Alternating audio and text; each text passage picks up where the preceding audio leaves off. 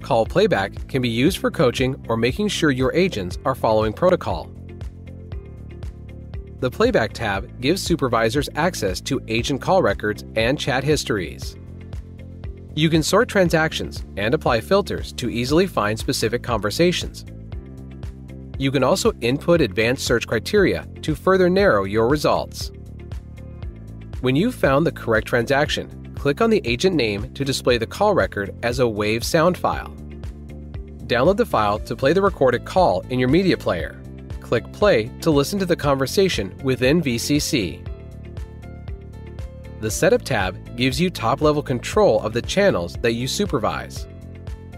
Just click the checkboxes to enable or disable supervision of the queues, groups, and campaigns which have been assigned to you. Save your changes at the bottom to see them take effect.